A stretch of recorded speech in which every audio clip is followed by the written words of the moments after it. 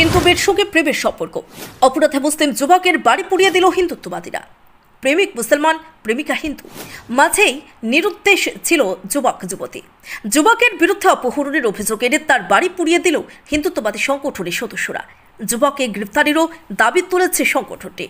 এই ঘটনায় চাঞ্চল্য ছড়িয়েছে আগ্রায়। এদিকে যুবকের বাড়িতে আগুন লাগানোর ঘটনায় কর্তব্যে গাফিলতের অভিযোগ করছে স্থানীয় পুলিশের বিরুদ্ধে। স্থানীয় থানার পুলিশ প্রধানকে সাসপেন্ড করে তার বিরুদ্ধে বিভাগীয় তদন্ত শুরু হয়েছে।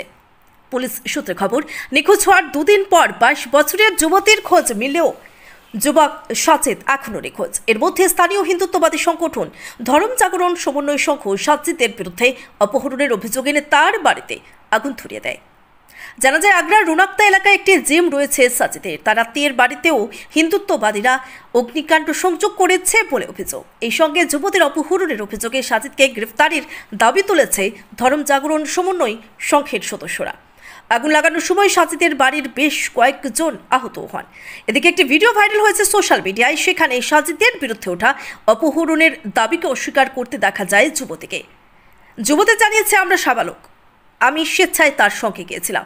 সিনিয়র এসপি সুধীর কুমার সিংহ নিশ্চিত করেছেন, দুজনেই সাবালক।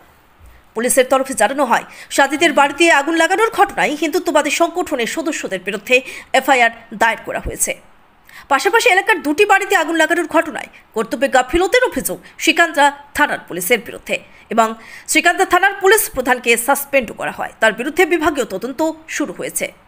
সিনিয়র এসপি সুধীর কুমার সিং জানিয়েছেন, দোষ প্রমাণিত হলে পুলিশ আধিকারিকের বিরুদ্ধে শাস্তিমূলক ব্যবস্থা নেওয়া হবে। অন্যদিকে সজিতের বিরুদ্ধে থানায় অভিযোগ দায়ের করেছে যুবতীর পরিবার। Bureau report, Barak Bangla news. হিন্দুদের সঙ্গে প্রেমের সম্পর্ক। অপরাধে মুসলিম যুবকের বাড়ি পুড়িয়ে দিল হিন্দুত্ববাদীরা। প্রেমিক মুসলমান, প্রেমিকা হিন্দু। মাঝেই নিরুদ্দেশ ছিল যুবক, যুবতী। যুবকের বিরুদ্ধে অপহরণের অভিযোগ এনে তার বাড়ি পুড়িয়ে দিল হিন্দুত্ববাদী সংগঠনের সদস্যরা। যুবককে গ্রেফতারেরও দাবি তুলেছে সংগঠনটি। এই ঘটনায় চাঞ্চল্য ছড়িয়েছে আগ্রায়। এদিকে যুবকের বাড়িতে আগুন লাগানোর ঘটনায় কর্তব্যে গাফিলতের অভিযোগ করছে স্থানীয় পুলিশের বিরুদ্ধে। স্থানীয় থানার পুলিশ প্রধানকে সাসপেন্ড করে তার বিরুদ্ধে বিভাগীয় তদন্ত শুরু হয়েছে। পুলিশ সূত্রে খবর, নিখোঁজ হওয়ার দুদিন পর বাইশ বছরের যুবতীর খোঁজ মিললেও যুবক সচেত এখনও নিখোঁজ। এর মধ্যে স্থানীয় হিন্দুত্ববাদী সংগঠন ধর্ম জাগরণ সমন্বয় সংঘ সাজিদের বিরুদ্ধে অপহরণের অভিযোগ এনে তার বাড়িতে আগুন ধরিয়ে দেয়।